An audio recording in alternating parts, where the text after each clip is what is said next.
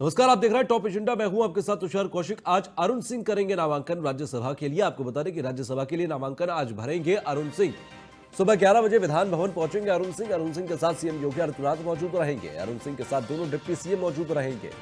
BJP के प्रदेश अध्यक्ष स्वतंत्र देव सिंह उनके साथ मौजूद होंगे। तो बीजेपी की तरफ़ से अरुण सिंह राज्यसभा के लिए आज नामांकन करेंगे। सुबह 11 बजे का समय होगा जब राज्यसभा के लिए नामांकन करते हुए नज़र आएँगे। दरअसल अरुण सिंह को राज्यसभा के लिए प्रत्याशी यहाँ पर बनाया है बीजेपी ने और ऐसे में अब आज नामांकन करते हुए नज़र आएँगे। बीजेपी प्रदेश अध्यक्ष स्वतंत्र देव सिंह भी उस दौरान मौजूद रहेंगे।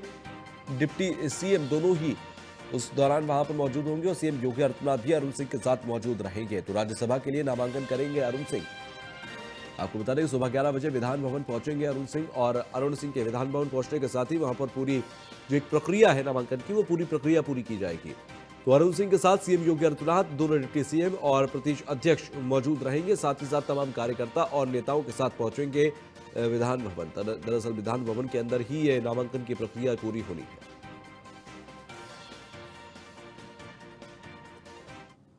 तो लखनऊ में नामांकन से पहले सीएम योगी आदित्यनाथ से मुलाकात अरुण सिंह ने की है। सीएम आवास पर अरुण सिंह ने सीएम योगी आदित्यनाथ से मुलाकात की। अलीगढ़ मंडल के कद्दावर नेता है आरपी सिंह जादौन वो भी मौजूद रहे। गाजियाबाद के वरिष्ठ बीजेपी नेता तरुण शर्मा भी वहाँ पर मौजूद थे। तो सीएम आवास पर अरुण सिंह ने मुलाकात की है। आपको बता दें कि अलीगढ़ मंडल के कद्दावर नेता रहे आरपी सिंह वो वहाँ पर मौजूद रहे। इसके अलावा तरुण शर्मा भी वहाँ पर मौजूद रहे। तो नामांकन से पहले सीएम योगी आदित्यनाथ से मुलाकात अरुण सिंह ने की है। अलीगढ़ के कद्दावर नेता हैं, वो भी वहाँ पर उनके साथ पहुँचे और तरुण सिंह भी वहाँ पर मौजूद रहे। आरपी सिंह मौजूद रहे, तरुण शर्मा वहाँ पर मौजूद रहे। मुलाकात करने के लिए पहुँचे थे अरुण सिंह के साथ। सीएम योगी आदित्यनाथ से अब से कुछ देर बाद ग्यारह बजे का समय है, जब अरुण सिंह पहुँचेंगे विधान भवन और वहाँ पर नामांकन करते हुए नज़र आएँगे।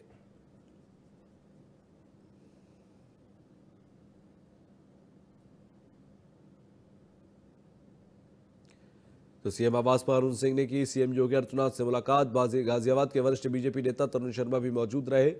नामांकन से पहले सीएम योगी आदित्यनाथ से मुलाकात अरुण सिंह ने की है। तो नामांकन से पहले सीएम योगी आदित्यनाथ से मुलाकात हुई है लखनऊ की एक खबर, जहाँ पर सीएम आवास पर ही मुलाकात अरुण सिंह की सीएम योगी आदित्यनाथ से हुई। इस दौरान वहाँ पर अरुण सिंह के साथ साथ गाजियाबाद से तनु शर्मा और अलीगढ़ मंडल के कद्दावर नेपा, नेता आरपी सिंह भी उनके साथ मौजूद रहे। तो सीएम आवास पर अरुण सिंह पहुँचे मुलाकात करने के लिए अलीगढ़ मंडल के कद्दावर नेता आरपी सिंह उनके साथ मौजूद रहे। इसके अलावा वरिष्ठ बीजेपी नेता तरुण शर्मा भी उनके साथ मौजूद थे।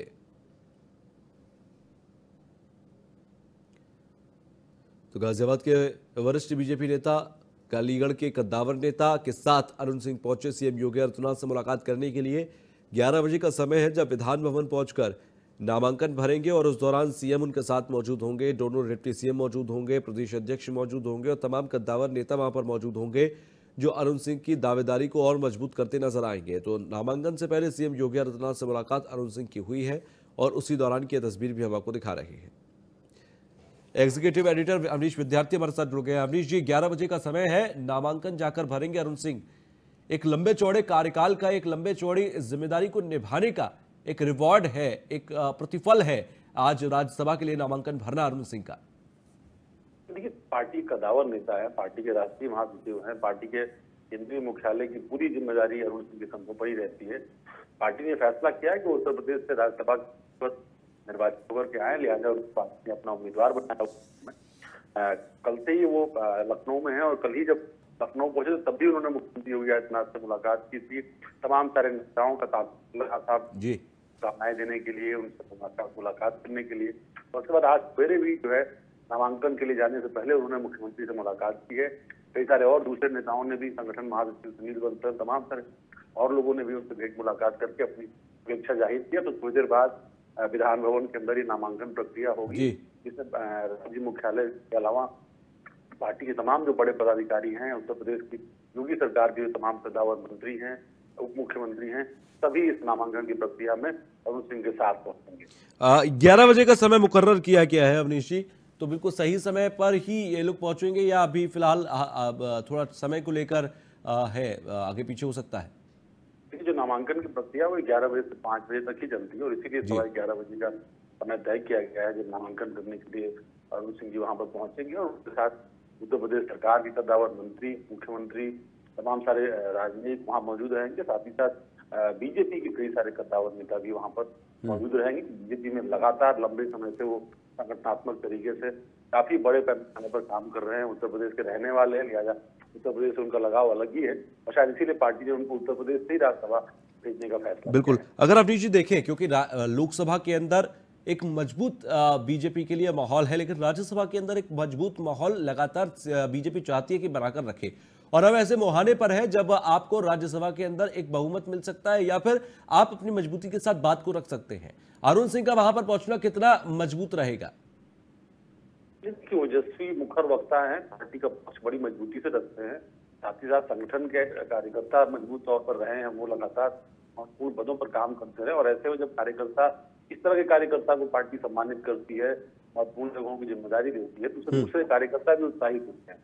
उनको भी भरोसा होता है कि अगर आप में मजबूती से काम करेंगे ईमानदारी से काम करेंगे तो पार्टी आपको भी मौका देगी। ये सबसे बड़ी उपलब्धि है। इसके अलावा दूसरी महत्वपूर्ण चीज़ ये है कि अरुण सिंह जिस तरह के संगठनात्मक ढांचे को के प्रबंधन के लिए जाने जाते हैं। वो प्रबंधन राज्यसभा में भी दिखाई पड़े दूसरे अन्य जगहों पर भी दिखाई पड़े कल को हो सकता है उनको केंद्रीय मंत्रिमंडल का भी हिस्सा बनाया जाए। बहुत सारी ऐसी संभावनाएँ आने वाले वक्त खासतौर पर उनके लिए खुलती है लेकिन एक मज़बूत प्रबंधक एक मज़बूत राजनीतिक और ईमानदार राज उनकी छवि अपनी जो है उसने कहीं ना कहीं उनको यहाँ तक चलिए बहुत बहुत शुक्रिया हमसे जुड़ने के लिए अवनीश जी और तमाम बातचीत करने के लिए। तो सीएम आवास पर अरुण सिंह से मुलाकात सीएम योगी आदित्यनाथ की हुई दोनों डिप्टी सीएम सीएम प्रदेश अध्यक्ष, ये सभी उनके साथ मौजूद रहेंगे, जिस वक्त विधान भवन में वो अपना नामांकन भर रहे होंगे।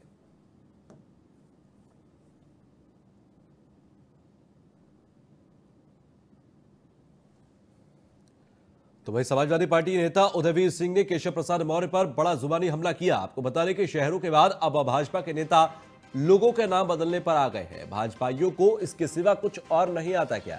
उदयवीर सिंह ने पूछा। उदयवीर सिंह ने ट्वीट कर लिखा कि शहरों के बाद अब भाजपा के नेता लोगों के नाम बदलने पर आ गए हैं। भाजपाइयों को इसके सिवा कुछ और नहीं आता है क्या? अब एक सलाह हम भी आपको देते हैं कि अपने नाम के आगे गड्ढा मंत्री लिख लीजिए। और नाम के बाद डिग्री की तरह C M B B R G, जिसकी फुल फॉर्म है चीफ मिनिस्टर बनते बनते रह गए केशव प्रसाद मौर्य। ये यहाँ पर उदयवीर सिंह की तरफ़ से लिखा गया। समाजवादी पार्टी के नेता हैं और इन्होंने डिप्टी सीएम केशव प्रसाद मौर्य के विषय में ये लिखा है, एक ट्वीट किया है और उन्होंने लिखा कि शहरों के बाद भाजपा के नेता ना, लोगों के नाम बदलने पर उतारू हो गए हैं। भाजपाइयों को इसके सिवा कुछ और नहीं आता। क्या ये सवाल वो कर रहे हैं? और साथ ही साथ उन्होंने लिखा कि अब एक सलाह हम भी देते हैं कि आप अपने नाम के आगे गड्ढा मंत्री लिख लीजिए और अपने नाम के बाद डिग्री की तरह लिखिए CM B R B B R G यानी कि चीफ मिनिस्टर बनते बनते रह गए केशव प्रसाद मौर्य।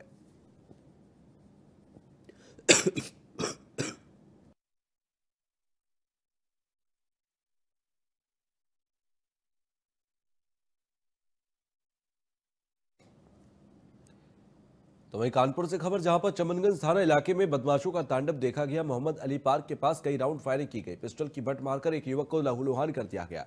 बदमाशों के फायरिंग से इलाके में दहशत फैल गई है। तो बदमाशों के हौसले बुलंद हैं। मोहम्मद अली पार्क के पास कई राउंड फायरिंग हुई। पिस्टल की बट से मारकर एक युवक को लहूलुहान कर दिया गया। तो पिस्टल की बट से मारकर एक युवक को लहूलुहान किया गया है। कानपुर की एक खबर है। तो बदमाशों के फायरिंग से इलाके में दहशत फैली हुई है। चमनगंज थाना इलाके में बदमाशों का तांडव लगातार जारी है। तस्वीरों में आप देख सकते हैं किस तरीके से यहाँ पर बदमाशों का तांडव चलता रहा। पिस्टल की बट मारकर एक व्यक्ति को यहाँ पर एक युवक को लहूलुहान कर दिया गया। तो पिस्टल की बट मारकर एक शख्स को लहूलुहान किया गया है। ये तस्वीरें आप देख सकते हैं किस तरह से वहाँ पर दबंगों का तांडव चलता रहा।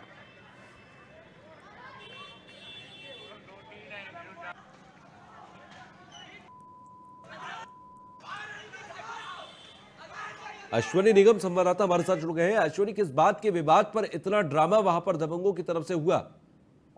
देखिए दोनों आपसी मामला था आपसी रंजिश के चलते हुए झगड़ा हो रहा था लेकिन कहीं पुलिस का जो डर है। जी।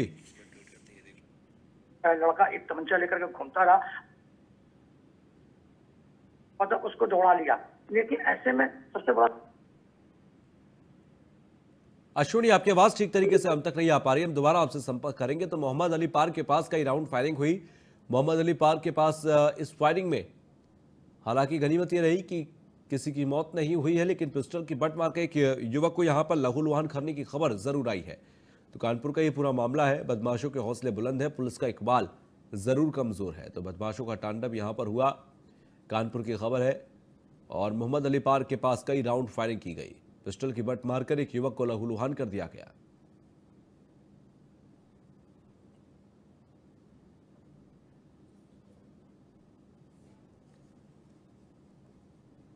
तो चमनगंज थाना इलाके का यह पूरा मामला है, जहाँ पर बदमाशों का तांडव लगातार दिखाई दिया। मोहम्मद अली पार्क के पास कई राउंड फायरिंग की गई है।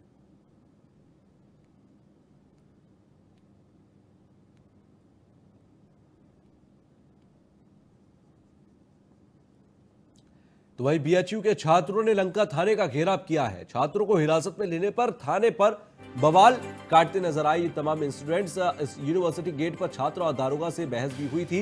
छात्रों ने दारोगा प्रकाश सिंह पर शराब के नशे में मारपीट करने का आरोप लगाया। वाराणसी के लंका थाना क्षेत्र का ये पूरा मामला है। छात्रों ने लंका थाना घेर लिया है। आपको बता दें कि छात्रों ने दारोगा पर शराब के नशे में मारपीट करने का आरोप भी लगाया है।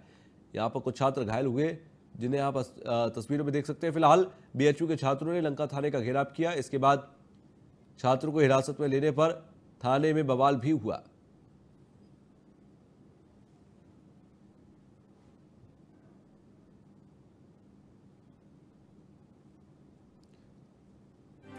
तो छात्रों ने दारोगा पर शराब के नशे में मारपीट करने का आरोप लगाया। बीएचयू के छात्रों ने लंका थाने का घेराव किया था। बीएचयू में लगातार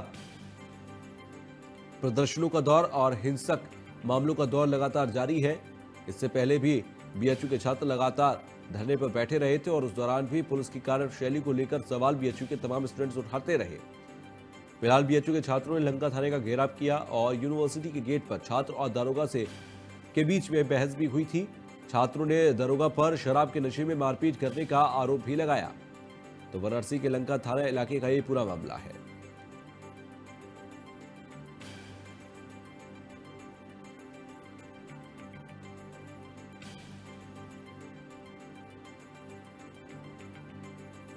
तो छात्रों को हिरासत में लेने पर थाने पर बवाल कटा, यूनिवर्सिटी गेट पर छात्र और दारोगा से बहस भी हुई थी।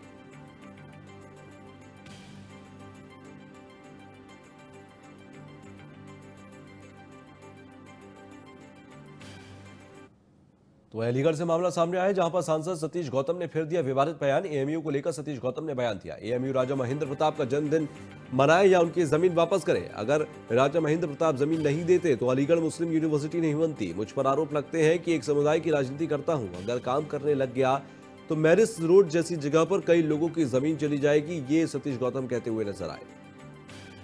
तो सांसद के विवादित बोल आज नज़र आए हैं। आपको बता दें कि सांसद सतीश गौतम का विवादित बयान, उन्होंने कहा कि आज अलीगढ़ मुस्लिम यूनिवर्सिटी नहीं होती, अगर उनको ज़मीन नहीं दी गई होती। फ़िलहाल मैरिस रोड का ज़िक्र करते हुए उन्होंने कहा कि अगर मैं काम करने लग जाऊँ तो मैरिस रोड पर कई लोगों की ज़मीन छिन जाए।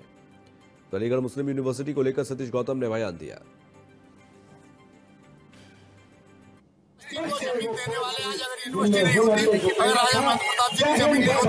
अलीगढ़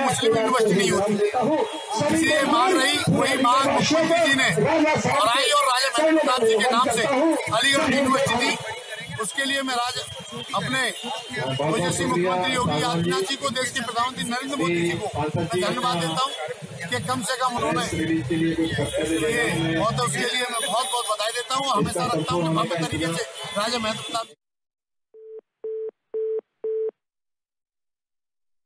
आप तक पहुँच रही है लगता है संपर्क टूट गया हम दोबारा संपर्क करेंगे। तो सांसद सतीश गौतम का विवादित बयान सामने आया एएमयू को लेकर उन्होंने बयान दिया और कहा कि अगर राजे साहब ने ज़मीन नहीं दी होती तो फिर आज अलीगढ़ यूनिवर्सिटी भी नहीं होती, अलीगढ़ मुस्लिम यूनिवर्सिटी को लेकर बयान दिया। योगेंद्र सिंह हमारे संवाददाता, हमारे साथ जुड़ गए हैं अलीगढ़ से। योगेंद्र, क्या कुछ बयानात थे और उसके बाद क्या कुछ रिएक्शंस है लोगों का उस पर? प्रताप की जो कल जन्म शताब्दी मनाई जा रही थी तो वहाँ पर सांसद सतीश गौतम भी आए। उन्होंने कहा कि जो राजा महेंद्र प्रताप ने एएमयू को ज़मीन दी है और उस ज़मीन के अगर उस वहाँ पर उनका जन्मदिन नहीं मनाया गया उनका कोई प्रोग्राम नहीं किया गया तो हम जो है एएमयू एएमयू यहाँ चल नहीं सकती है। इस तरीके का उन्होंने बयान दिया है और उन्होंने अपने बारे में ये भी बताया कि मैं देहाती देहात से दसवीं तक का पास हूँ। तो इस तरीके का आदमी अगर इस तरीके से बयान देता है तो उसमें कुछ समझ में नहीं आता क्योंकि उनका ये कहना है कि जो ये जो अगर मान लो इन्होंने जो राजा महेंद्र प्रताप को सम्मान नहीं दिया तो उसके अलावा शहर में और भी कई जगह यूनिवर्सिटी की ज़मीन है वो भी सब चली जाएगी। हम्म, लेकिन जिस तरीके से उन्होंने कहा कि अगर मैं काम करने लग जाऊँ तो मैरिस रोड का ज़िक्र उन्होंने किया। मैरिस रोड का ज़िक्र करने के पीछे भी कोई मंशा थी क्या? देखिए मैरिस रोड पे जितने भी अलीगढ़ के नवाब हैं उन सबकी ज़्यादातर वहाँ पर जमीनें हैं। और बड़ी बड़ी जमीनें हैं और उसमें से कई जमीनें ऐसी हैं जो एएमयू के नाम पर वफ की गई हैं? मतलब जो उनके दादाओं ने एएमयू को दे रखी है।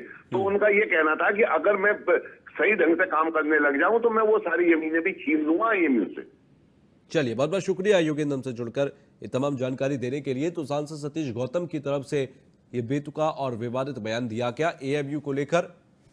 उन्होंने कहा कि ये एएमयू आज जो है इसकी वजह है कि जो राजा साहब थे उन्होंने इसको ज़मीन दी। तो यहाँ एक छोटा सा ब्रेक ले रहे हैं। ब्रेक के बाद फ़ौरन लौटेंगे।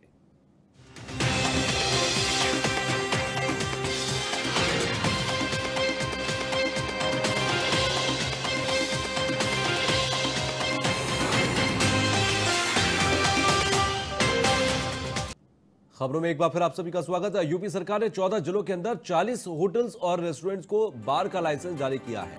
आबकारी विभाग के प्रमुख सचिव संजय आर मुजरेड्डी के मुताबिक पिछले कुछ सालों में नोएडा, आगरा, वाराणसी और लखनऊ जैसे शहरों में देशी और विदेशी पर्यटकों की आवाजाही बढ़ी है। इसे ध्यान में रखते हुए ये लाइसेंस जारी किए गए हैं। इससे कुक वेटर सिक्योरिटी गार्ड सफ़ाई कर्मियों की डिमांड बढ़ेगी। लखनऊ में आठ, आगरा में सात गोरखपुर में छह गौतम बुद्ध नगर में चार, प्रयागराज में तीन, वाराणसी, अलीगढ़ और बदायूं में दो दो लाइसेंस जारी किए गए। मिर्जापुर, मुरादाबाद, झांसी, गाजियाबाद, बहराइच और बरेली में एक एक लाइसेंस जारी हुआ। तो होटल और रेस्टोरेंट्स को बार का लाइसेंस जारी किए गए हैं और इसमें तमाम नियमों को ध्यान में रखते हुए लाइसेंस जारी किए गए होटल और रेस्टोरेंट्स को बार के लाइसेंस दिए गए हैं। ऐसे में चौदह जनपदों में चालीस होटल और रेस्टोरेंट्स के लिए बार लाइसेंस जारी हुए।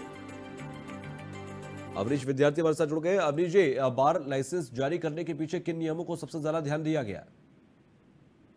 देखिए, सरकार ने आबकारी एक्ट के ही तहत ये लाइसेंस जारी किए हैं, लेकिन सरकार की ओर से जो तर्क दिया गया है वो बहुत हास्यास्पद लगता है और उसमें ये बात कही गई है कि चूँकि विदेशी पर्यटकों का बहुत ज़्यादा आगमन हो रहा है पर्यटन को काफ़ी बढ़ाना है और साथ ही साथ ये भी कहा गया है कि लोगों की जो जीवन शैली है उसमें बड़ा बदलाव हुआ है। और ऐसे में ये आवश्यकता महसूस की जा रही है कि अन्य जो क्या राज्य उत्तर प्रदेश में अलग अलग शहर हैं उन शहरों में इस तरीके के केंद्र जो है वो खोले जाए। लिहाजा सरकार जो है इन लाइसेंसों को जारी कर रही है और उसी के बाद ये लाइसेंस जो है वो जारी किए गए हैं। एक तरफ़ सरकार का यही विभाग शराबबंदी नशे नशा मुक्ति शराब के ऊपर जो है किसी तरीके से कम से कम इसका उपयोग हो।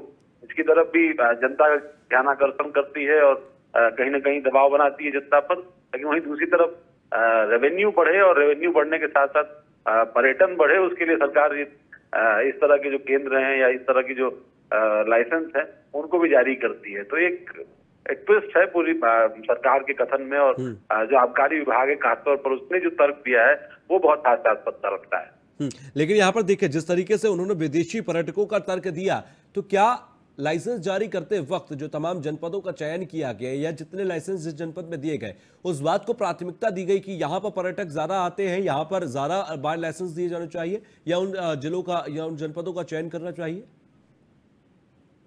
देखिए जो अब आंकड़े दिखते हैं उसमें एनसीआर के शहर हैं आगरा है उसमें गोरखपुर जैसे शहर हैं।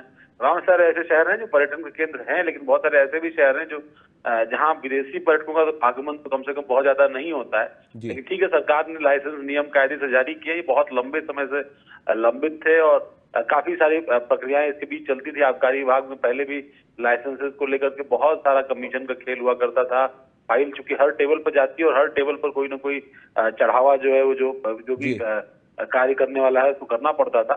लेकिन अब सरकार ने अगर प्रक्रिया बदली और लाइसेंसों के प्रकरण जो लंबित है उनका निस्तारण तेज़ी से किया है तो ये अच्छी बात है। रेवेन्यू के लिहाज से तो बेहतर है लेकिन हाँ ये ज़रूर है कि आम जनमानस के स्वास्थ्य के लिहाज से अगर आप सोचें तो ज़रूर हानिकारक है। चलिए बहुत बहुत शुक्रिया आपने जी हमसे जुड़ने के लिए।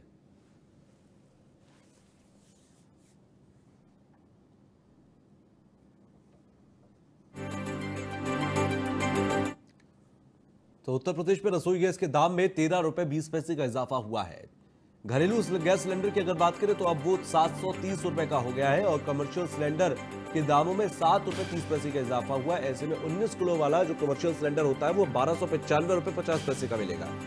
पाँच किलो का छोटा सिलेंडर के गैस में अब पाँच रुपए इकतालीस पैसे महँगा कर दिया गया है। चार महीने में गैस के दाम एक सौ अठारह रुपए महँगे हुए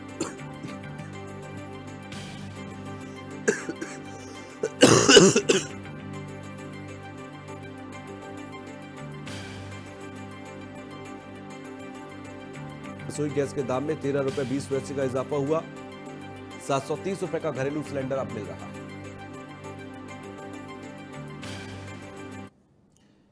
तो आगरा के ताजमहल के मुख्य मकबरे पर पड़ी गई फातिहा। आपको बता दें, फातिहा पढ़ने के का वीडियो सोशल मीडिया पर वायरल हुआ है। वायरल वीडियो में फातिहा पढ़ते नज़र आ रहे हैं। कुछ लोग और परिसर में किसी भी धार्मिक आयोजन पर प्रतिबंध है। ऐसे में एएसआई ने दिए वायरल वीडियो की जाँच के आदेश। वीडियो कब का है, फ़िलहाल पता नहीं। जाँच रिपोर्ट आने के बाद आगे की कदम उठाएगी एएसआई तो फातिहा पढ़ने के दौरान की यह तस्वीर है। मुख्य मकबरे के पास फातिहा पढ़ी गई। आपको बता दें कि एएसआई ने फ़िलहाल वायरल वीडियो की जाँच के आदेश दे दिए हैं, क्योंकि इस पूरे धार्मिक आयोजन की या धार्मिक किसी भी गतिविधि की परमिशन यहाँ पर नहीं है। ऐसे में इस वीडियो की एएसआई ने जाँच के आदेश दिए।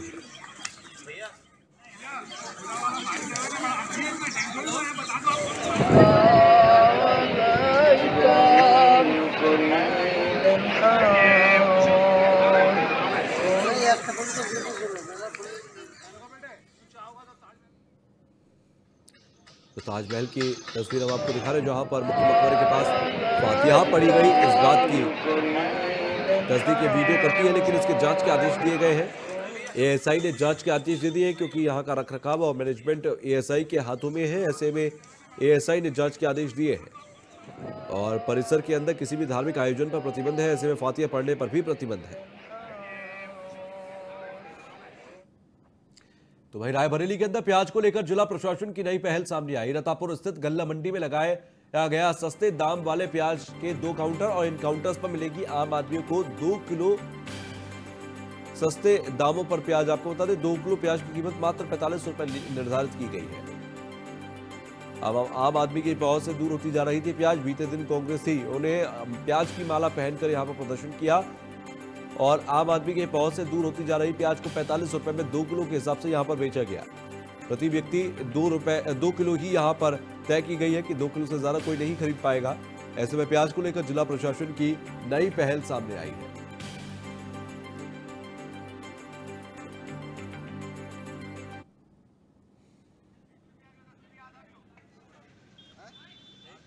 तो प्याज की कीमत पैंतालीस रुपए प्रति दो किलो के हिसाब से बेची गई है। हालाँकि प्याज की कीमतों की अगर बात करें तो मार्केट में सौ रुपए के आसपास इस वक्त प्याज बिक रहा है जो लोगों की पहुँच से काफ़ी दूर जाता जा रहा है।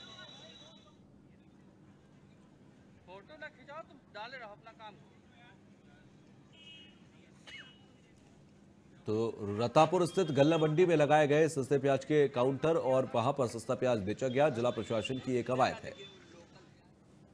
तो जिला प्रशासन की कवायद के तहत सस्ते दामों पर प्याज बेची जा रही है और पैंतालीस रुपए में दो किलो के हिसाब से प्याज बेची जा रही है।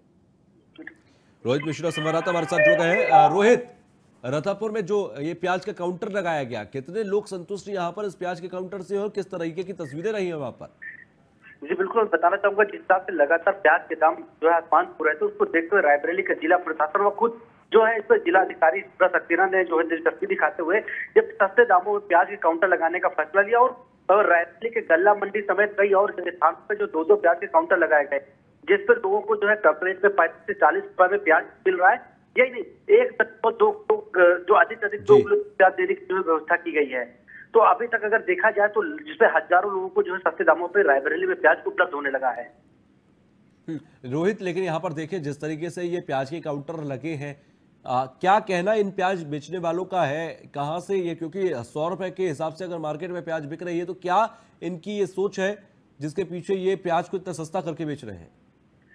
सबसे बड़ी बात तो ये है कि जो अड़ातिया होते हैं जो जो बड़े व्यवसायी होते हैं जो थोक में। देते हैं उनसे जो है कह के जिला प्रशासन ने ये किया। लेकिन सबसे बड़ा सवाल ये उठ रहा है कि कि जब जैसे ही काउंटर लगते हैं और लोगों की भीड़ लग जाती है और प्याज के जो है प्याज वहाँ पे खपत हो जाती है खत्म हो जाती है फिर फिर जबरन जो है जिला प्रशासन द्वारा जो छोटे दुकानदार हैं उनसे प्याज सस्ते दामों में ले जाता है। तो छोटे दुकानदार को इससे जो है नुकसान भी हो रहा है क्योंकि महँगे दाम में लाके वो सस्ते दाम में प्याज कैसे बेचेंगे ये भी एक बड़ा सवाल है। इस ओर भी जिला प्रशासन को ध्यान देना चाहिए। चलिए बहुत बहुत शुक्रिया हमसे जोड़ने के लिए रोहित। तो वही फरुखाबाद से खबर, जहाँ पर पुलिस चौकी में हाई वोल्टेज ड्रामा हुआ और महिलाओं ने पुलिस के सामने युवक को जमकर पीटा। कड़ी मशक्कत के बाद युवक को पुलिस ने महिला के चंगुल से छुड़ा लिया है। पहले महिलाओं ने घर बुलाकर युवक की पिटाई की। भागकर पुलिस चौकी पहुँचा था ये युवक और फतेहगढ़ कोतवाली की चौकी कर्नलगंज का ये पूरा मामला है। पुलिस चौकी में युवक की पिटाई का वीडियो भी वायरल हुआ। तो महिलाओं ने पुलिस के सामने ही युवक की जमकर पिटाई की है। पुलिस वहाँ पर बीच बचाव करती रही और इसी दौरान मारपीट युवक के साथ ही महिलाएँ करती रही। पुलिस चौकी में युवक की पिटाई का वीडियो भी वायरल हुआ फरुखाबाद का ये पूरा मामला है।